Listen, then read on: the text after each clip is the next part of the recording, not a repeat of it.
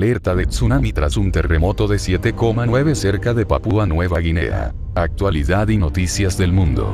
En la actualidad se están registrando una gran cantidad de sismos de magnitudes diferentes entre los 4 y 6 grados, en las cercanías del terremoto. Según podemos ver en el mapa del video, un terremoto de magnitud 7,9 cerca de Papúa Nueva Guinea activó este sábado una alerta de tsunami para varias islas del Pacífico Occidental, anunció el Centro de Alerta de Tsunami del Pacífico, PTWC, por sus siglas en inglés.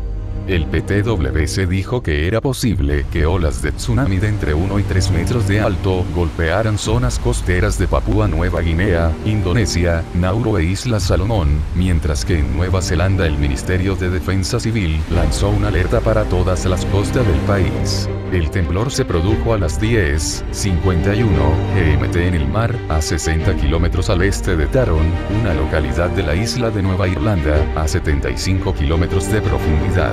Su magnitud, que en un primer momento se evaluó en 8, fue poco después revisada en 7,9 por el Instituto de Estudios Geológicos de Estados Unidos, USGS.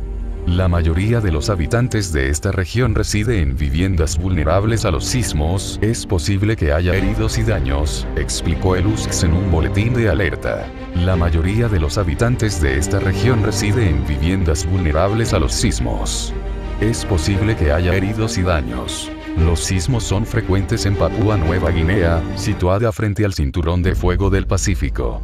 La pasada semana, se registraron dos importantes sismos en esta región, frente a las Islas Salomón, que no causaron daños importantes. En 2013, el archipiélago de la Salomón, donde viven cerca de 500.000 habitantes, se vio sacudido por un sismo de magnitud 8 y un tsunami que dejó al menos 10 muertos y a miles de personas sin hogar.